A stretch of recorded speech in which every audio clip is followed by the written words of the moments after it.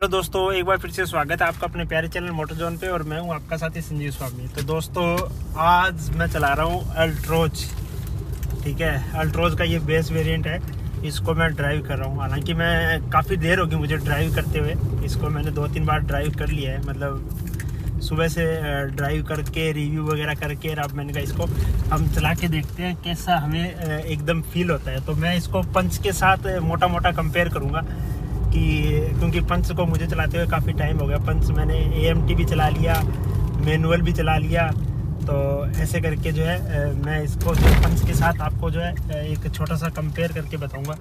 तो सबसे पहले हम बात करते हैं, क्योंकि पंच के साथ कंपेयर करना इसलिए बनता है क्योंकि सिर्फ़ और सिर्फ़ ये जो है पंच के साथ सेम इंजन इसके आता है, जो 86 bhp की पावर देता है और 113 nm का जो है टॉक जनरेट करता है। दोनों के अंदर जो नेचुरली एस्पिरेटेड इंजन है, दोनों के अंदर सेम ही है।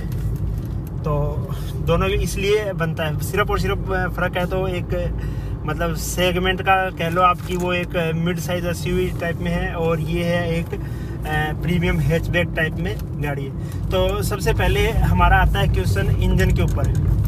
या फिर हम मान के चलें कि पिकअप क्या सीन है। तो सबसे पहले मैं अगर पिकअप की बात करूँ तो पिकअप के अंदर मुझे कहीं ना कहीं ऐसा फील होता है कि पंच है वो ज़्यादा पंची फील कराती है अल्ट्रोज से सिटी मोड के अंदर। इसके अंदर जो इनिशियल पिकअप जो होता है ना अल्ट्रोज का, मैं मैनुअल की बात कर रहा हूँ पंच मैनुअल और इसके अल्ट्रोज मैनुअल के साथ कंपेयर कर रहा हूँ। तो पंच है वो ज़्यादा पंची फील कराता है। इसके अंदर जो है थोड़ा सा ऐसे हल्का सा वाइब्रेशन सा होता है, ऐसे लेग सा जो है मुझे लगता है इनिशियल में जब हम फ़र्स्ट गियर में सेकंड गियर में डालते हैं और उसके बाद में जैसे हम हाईवे वगैरह पे चलने लग जाते हैं तो एकदम परफेक्ट उसके बाद में जो है ये ज़्यादा अच्छे से परफॉर्म करती है अल्ट्रोज जो है। मतलब वो इसका जो ड्राइविंग डायनमिक्स जो इस टाइप से है कि हाईवे पे एकदम जो हवा को काटते हुए चलती है तो इसमें इतना ज़्यादा फील नहीं होता है कि भाई ज़्यादा ज़ोर आ रहा है गाड़ी को, ऐसे करके जो है मुझे अभी तक लगा। उसके बाद में अगर मैं नेक्स्ट इसकी बात करूँ स्टेयरिंग की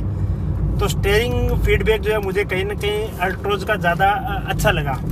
पंच के मुकाबले इसका जो रिस्पॉन्स है स्टेयरिंग का वो काफ़ी अच्छा लगा, जो क्विकली रिस्पॉन्स देता है और काफ़ी चीज़ों के अंदर जो है ये अच्छा लगता है। हालाँकि दोनों का स्टेयरिंग जो है लाइट है, ये जैसे हाईवे पे स्पीड तेज़ करते हैं तो ये देखिए अभी भी है, ये थोड़ा सा स्टिफ हो गया मतलब ऐसे टाइट हो जाता है और उसका भी टाइट हो जाता है बट ये इसका जो है फीडबैक मुझे ज़्यादा अच्छा लगा। उसके बाद में नेक्स्ट अगर मैं बात करूँ इसके अंदर, जैसे वाइब्रेशन वगैरह का जो टाटा की गाड़ियों में आता है, उसके अंदर जो है पंच कहीं ना कहीं बाजी में आ जाती है अपनी पंच के अंदर थोड़ी कम नॉइस वगैरह है।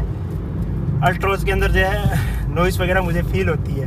हालाँकि ज़्यादा नॉइस जो है रोड की लगती है। इतनी इंजन की इतनी ज़्यादा फील नहीं होती अगर, क्योंकि इसके अंदर अभी जैसे म्यूज़िक सिस्टम वगैरह नहीं है और पंच के अंदर म्यूज़िक सिस्टम है तो हम म्यूज़िक सिस्टम चला लेते हैं तो इतना फील नहीं होता शायद। बट फिर भी जो है पंच मुझे जो ज़्यादा पे बढ़िया लगती है इसके अंदर, जो नॉइस कैंसिलेशन वगैरह के अंदर, काफ़ी अच्छा है। बाकी पिकअप वगैरह के अंदर जो है पंच ज़्यादा अच्छी है। उसके अलावा ऐसे एर्गोनॉमिक बाइक्स बात करूँ तो मैं जैसे कोई भी चीज़ को यूज़ करना है और करना है, दोनों गाड़ियाँ अपने आप में बेस्ट है। और ये वाली जो है अपनी अल्ट्रोज है ये अगर हाईवे ड्राइविंग की बात करूँ तो ये ज़्यादा चिपक के चलती है, मुझे ऐसा लग रहा है। पंच है, थोड़ा सा उसके अंदर बॉडी रोल फील होता है इसके मुकाबले। और ब्रेकिंग सिस्टम के अंदर भी जो है ये अल्ट्रोज मुझे ज़्यादा बेटर लगी, जो कंट्रोल गाड़ी को कर सकती है। हालाँकि दोनों फाइव स्टार सेफ्टी रेटिंग के साथ आती है। दोनों के अंदर लगभग सेम से फीचर्स आते हैं, जो सेफ्टी के नॉर्म्स आते हैं।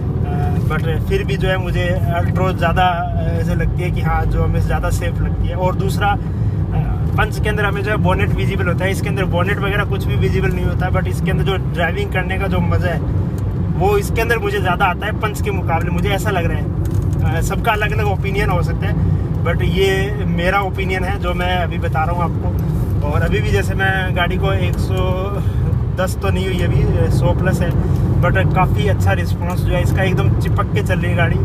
पंच है, थोड़ी सी ऐसे बॉडी रोल सा फील करवाती है। इसके अलावा बाकी सारी चीज़ें ठीक है। कंफर्ट के अंदर मुझे ये अल्ट्रो ज़्यादा कंफर्ट लगी, पीछे की सीट भी और आगे की सीट भी। हालाँकि मैं ये नहीं बोल रहा कि पंच कंफर्टेबल नहीं है बट अल्ट्रोज ज़्यादा कंफर्ट है। और दोनों गाड़ियों के अंदर इंजन वगैरह सब सेम है। लुक वाइज थोड़ा सा डिफरेंस है, वो एक एसयूवी में है और ये अपनी जो है एक प्रीमियम हैचबैक है। मुझे ज़्यादा लुक इसका पसंद है पंच के मुकाबले।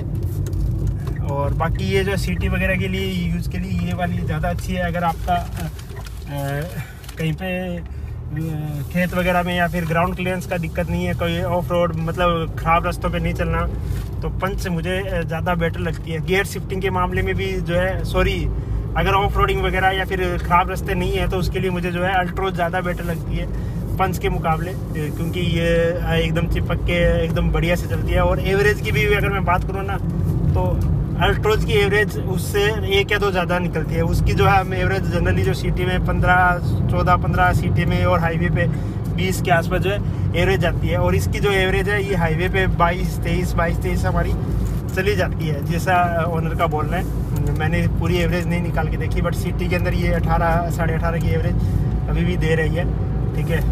तो ऐसा करके जो है ये था एक छोटा सा वीडियो जिसमें मैंने कंपेयर बता दिया, क्योंकि मेरी पंच काफ़ी चलाई हुई है अल्ट्रोज मैंने अभी ज़्यादा नहीं चलाई हुई। और ये मैनुअल है नेचुरल एस्पिरेटेड है, इसका ऑटोमेटिक या फिर जैसे टर्बो वाला है, वो भी मैंने अल्ट्रोज का नहीं चलाया है। पंच का मैंने मैनुअल और ऑटोमेटिक दोनों चला रखे हैं। तो बाकी विजिबिलिटी के अंदर भी एक बात और बताऊँ, मैं विजिबिलिटी के अंदर मुझे ये पंच कहीं ना कहीं ज़्यादा सॉरी विजिबिलिटी के अंदर मुझे कहीं ना कहीं जो है ये अल्ट्रोज ज़्यादा बेटर लगती है। पंच ही पंच नाम आता है अल्ट्रोज ज़्यादा बेटर लगती है। इसके जो ओ वगैरह है ना ये काफ़ी चौड़े चौड़े हैं और ये जो पिलर है ना, इतना वो इसको वो नहीं करता क्योंकि हम जो है इसके अंदर सीटिंग जो है नीचे होती है तो आराम से क्लियर विजन होता है। उसके अंदर क्या होता है, थोड़ा सा ऊपर सीटिंग होती है तो ये क्लियरली ब्लाइंड स्पॉट क्रिएट करता है हमारे लिए। तो ये था एक छोटा सा वीडियो कंपेयर वीडियो आपको ये वीडियो कैसा लगा, मुझे कमेंट करके ज़रूर बताना।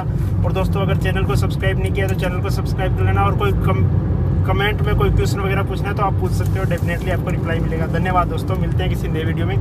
तब तक के लिए Tata bye bye take care.